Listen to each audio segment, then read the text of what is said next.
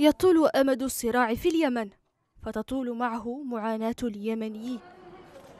تظهر الصور القادمة من كل منطقة في اليمن بعضا من حجم المأساة الكبيرة وما تفعله الحرب بالناس من مجاعة ومرض وخوف وضياع للحقوق وما خفي كان أعظم.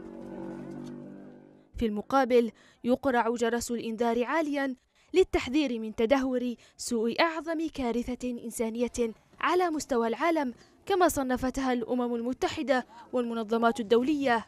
برنامج الأغذية العالمي مثلا حذر من أن كل عام يمضي يدفع مليون شخص أو أكثر إلى حافة المجاعة. المدير الإقليمي للبرنامج في منطقة الشرق الأوسط مهند هادي قال إن الصراع تسبب في كارثة إنسانية أدت إلى المعاناة والجوع على نطاق غير مسبوق. وأن اليمن بأكمله يعاني من الجوع والفقر والمرض.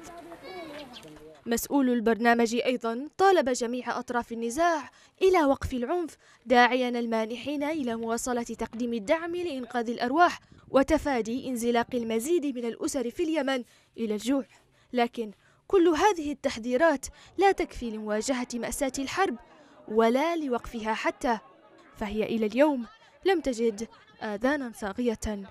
لها.